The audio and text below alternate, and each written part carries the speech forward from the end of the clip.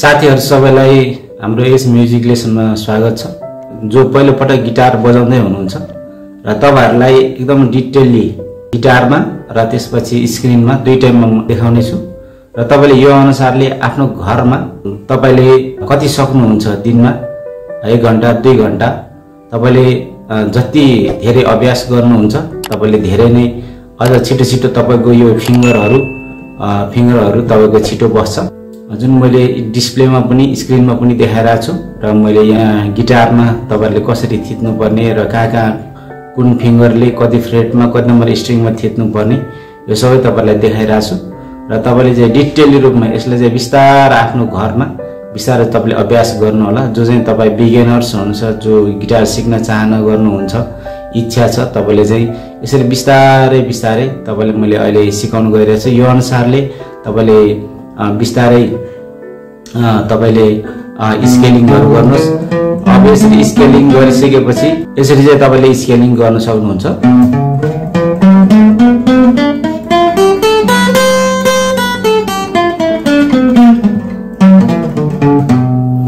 यसरी बिस्तारै बिस्तारै स्केलिङ गर्नुपर्छ र यसरी स्केल गर्दाखेरि तपाईँले यो प्याटर्नमा यहाँ सिक्नुभयो भनेदेखि यो एउटा स्केल सी मात्रै सिक्नुहुन्छ। तपाईँले यो माथि माथि धेरै स्केलहरू छ जसरी यहाँनिर हाम्रो यहाँ सी बज्यो।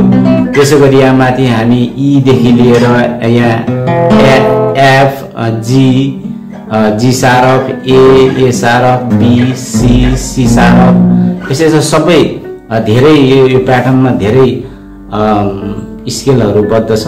र यसको लागि चाहिँ तपाईँले फर्स्टमा चाहिँ तपाईँले मैले देखाए अनुसारले बिस्तारै फिङ्गर राखेर हतार नगरिकन तपाईँले एउटा फिङ्गर राख्नुलाई चाहे तपाईँलाई चाहिँ दस मिनट लागोस् पन्ध्र मिनट लागोस् र तपाईँले बिस्तारै राखेर पहिला हात बसाउनुहोस् आफ्नो फिङ्गरलाई ठिक तरिकाले ग्रिप गर्नुहोस् र यति गर्दै जानुभयो भने तपाईँलाई सजिलो हुन्छ र तपाईँको हात बस्दै जान्छ ए मेरो अहिले भएनछ भने आत्तिनु पर्दैन किनकि तपाईँको हात बिस्तारै बस्दै जान्छ र अटोमेटिकली तपाईँको फिङ्गरले यो गिटारको स्ट्रिङहरूलाई आफै लिँदै जान्छ।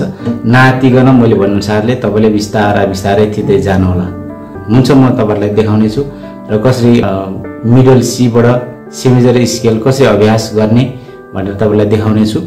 र अहिले चाहिँ तपाईँहरूलाई कुनै पनि स्टाफ नोटेसन बिना नै र कुनै टाइमिङ बिना नै तपाईँलाई बिस्तारा औँला मात्र राख्न सिकाउने छु। तपाईँले यसरी औँला राखिसक्नु भएपछि त्यसपछि हामी स्टाफ नोटेसनमा पनि तपाईँहरूलाई अभ्यास गराउनेछौँ। अहिले चाहिँ तपाईँहरूलाई यो अभ्यास देखाउन गइरहेको छु।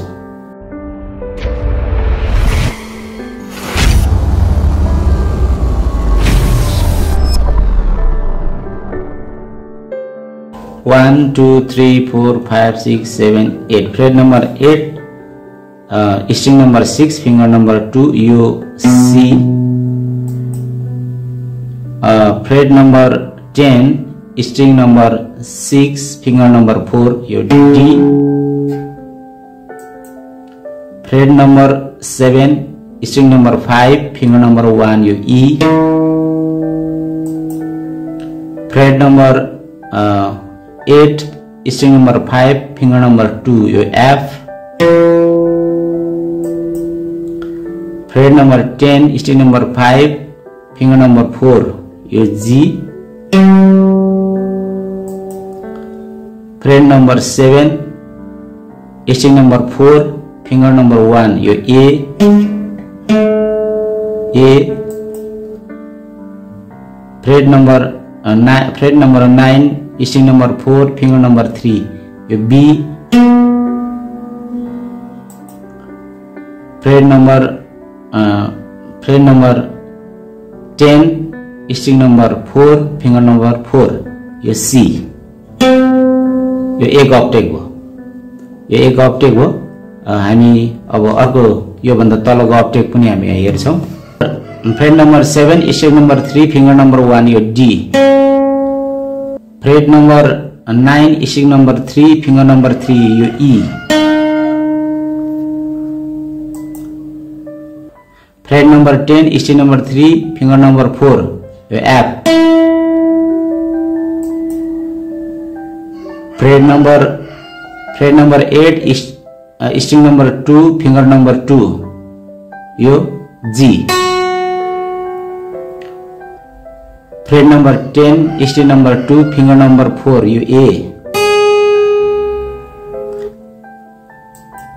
fret number seven string number one finger number one यो B fret number eight string number one finger number two यो सी यसरी हामीले बिस्तारै बिस्तारै औँला राखेर हेर्दै हेर्दै हामीले यसरी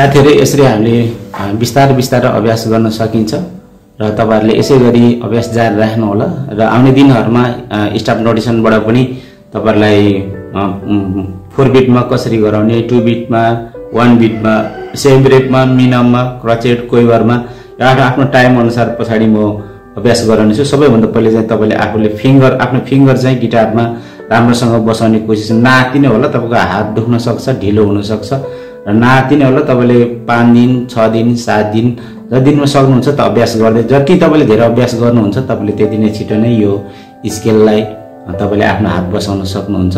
र यसरी हामी यो स्केल सिमेजर स्केल राम्रो क्लियर भइसकेपछि त्यसपछि अरू अरू स्केलतर्फ पनि हामी जानेछौँ।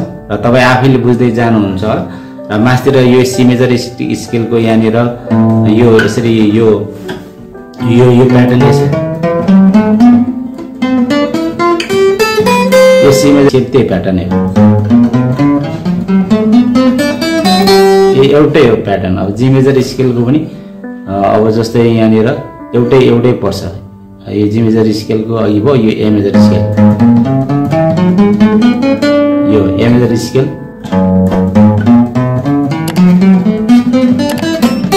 यो जी मेजर स्केल यसरी हामीले बिस्तारै बिस्तारै हामीले राम्रोसँग आफ्नो हात बसाएर अभ्यास गर्न सकिन्छ। हुन्छ तपाईँहरूले अभ्यास गर्दै जानुहोला यदि तपाईँलाई हाम्रो यस क्लास तपाईँलाई तपाईँले मन परेको छ भने हाम्रो यस च्यानललाई सब्सक्राइब लाइक सेयर कमेन्ट गरिदिनु होला। धन्यवाद।